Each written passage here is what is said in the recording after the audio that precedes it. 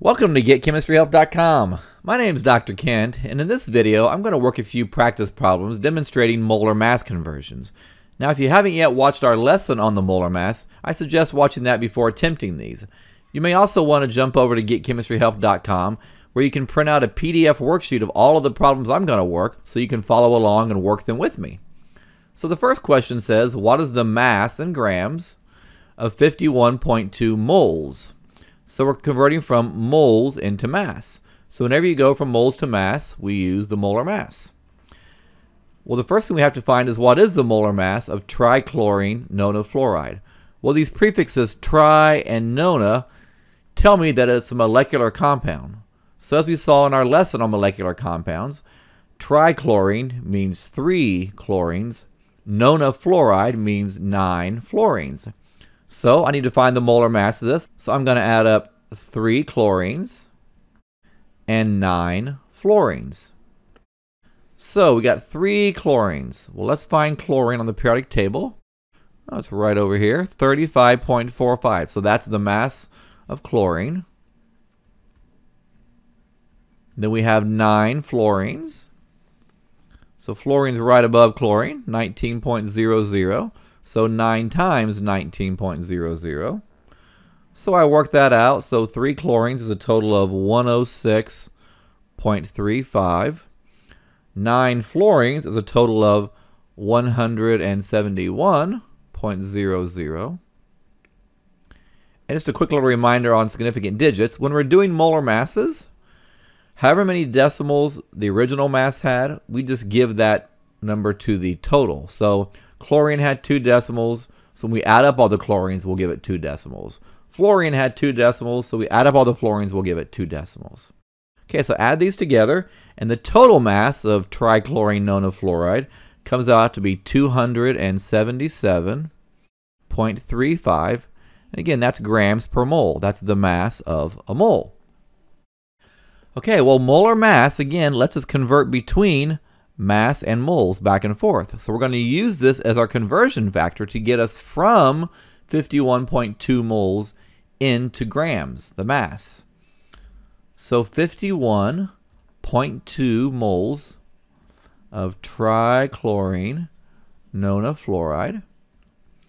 So we're going to use the molar mass we just found, and that was 277.35 grams per mole. So grams per 1 mole of trichlorine nonafluoride. So moles cancels. Punch that in your calculator and I got 14,200.32 grams, which obviously seems like a lot of significant digits. So how many should we have? Well, the original number only had three significant digits, or sig figs. molar mass had five. So our answer can only have the fewest, 3. So I need to round this off to show 3. So I could write 14,200, but it's always better if possible to get rid of placeholder zeros. So I'll just write that in scientific notation as 1.42 times 10 to the fourth grams. So there you go. That's the mass in grams of 51.2 moles of trichlorine nonafluoride. Now our next calculation asks what is the mass in grams of 3.00 moles of magnesium chlorite? Okay, well, magnesium is a metal. Chlorite is a polyatomic, so this must be an ionic compound. So we learned in our lesson on naming ionic compounds that magnesium chlorite, I would write that Mg and then ClO2 taken twice. Okay, let's find the molar mass of this. So we got one magnesium how many chlorines do I have? Well, I got two chlorites because of this. So remember the parentheses, we have to multiply everything in there by this subscript outside. So I got 2 times chlorine. How many oxygens? Well, there's two oxygens in every chlorite, but I have two chlorites. So 2 times 2 oxygens, so 4 oxygens. So let's find the mass. So magnesium has a mass of 24.31, so 1 times 24.31 two chlorines. Every chlorine is 35.45. So 35.45. And four oxygens. Uh, oxygen is right here. It's 16.00. So 4 times 16.00. So my total magnesiums are 24.31. My total chlorines are 70.91. My total oxygens are 64.00. Add those all together, and I get a grand total of 159.21 grams per mole of magnesium chlorite. So again, this converts between grams and moles, which is what I want. I want to go from moles into grams. So we can use that. So 3.00 moles of magnesium chlorite. And the conversion factor we just solved for is the molar mass. So 159.21 grams per mole of magnesium chlorite. So moles will cancel. So we got three sig figs here, five sig figs here. So the answer should have three sig figs. So 477.63 grams is what I got. So if we're going to just keep the first three sig figs, I'd round that off to 478 grams. Or you could write it in scientific notation as 4.78 times 10 to the second grams. Either way technically would be correct. Okay, number three. How many moles are in 189 grams of calcium hypoarsenite. So we're trying to turn grams mass into moles. So again, moles to mass or mass to moles, we use our friend here, molar mass. So calcium, that's a metal. Hypoarsenite, that's a polyatomic, must be an ionic compound. So I can figure that up. So calcium is 2 plus. Hypoarsenite is ASO2 3 negative do my little crossover rule. So calcium hypoarsenite would be Ca3 and then AsO2 taken twice. So how many calciums do I have? Well, I have three calciums right here. How many arsenics? Remember, multiply everything inside the parentheses by the number outside. So two arsenics.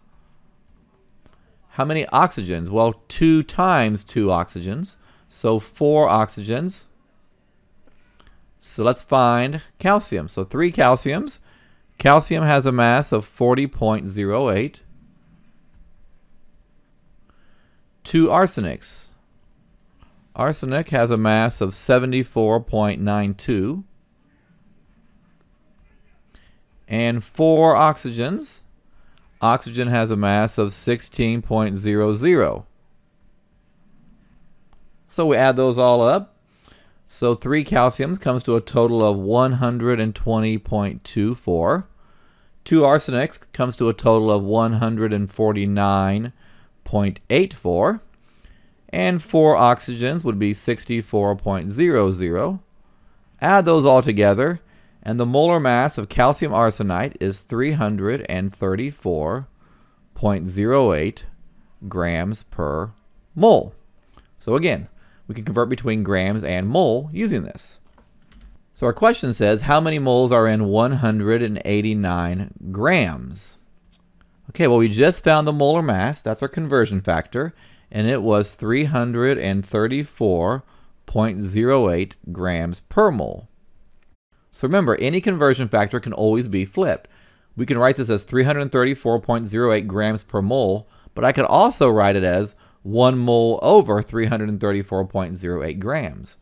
And that's the way that I need to write it because I need grams to cancel. So this grams has to go on the bottom. So 334.08 grams is a mole of calcium hypoarsenite. So grams cancels. 3 sig figs divided by 5 sig figs.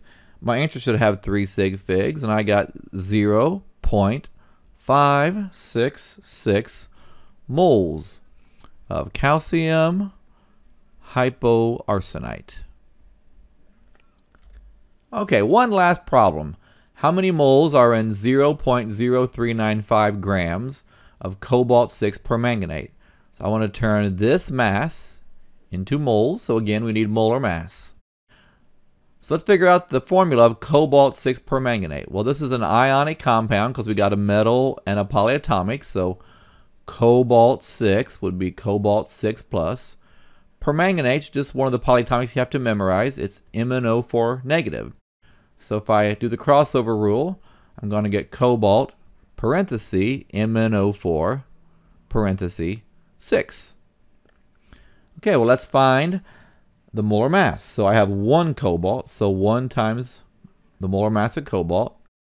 I have 6 manganese, so 6 times manganese. And I have 6 times 4 oxygens, so 24 oxygens. So 1 times the mass of cobalt. Cobalt's right here, 58.93. 6 times the mass of manganese, that's right here, 54.94. And 24 times the mass of oxygen, which is 16.00.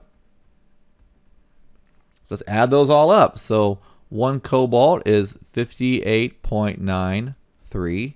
6 manganese gives me 329.64. 24 oxygens, that's 384.00. So add those all together, and the molar mass of cobalt 6 permanganate comes out to be 772.57 grams per every mole. Okay, well let's use that to convert 0.0395 grams into moles. Again, we're starting with grams, so we have grams over moles for the molar mass. So we had 772.57 grams per mole for the molar mass. So I got to put the grams on the bottom so it'll cancel. So 772.57 grams. And now the moles goes on top. 1 mole cobalt 6 permanganate. So grams cancels. This has three significant figures. This has five significant figures. So our answer should only have three. So I got 5.11 times 10 to the negative fifth moles of cobalt 6 permanganate. Well, there you have it. I hope you enjoyed these practice problems on molar mass conversions. As always, be sure and click below on the subscribe button so you can be notified as soon as new lessons are posted. And we will see you next time back here at getchemistryhelp.com. Thank you.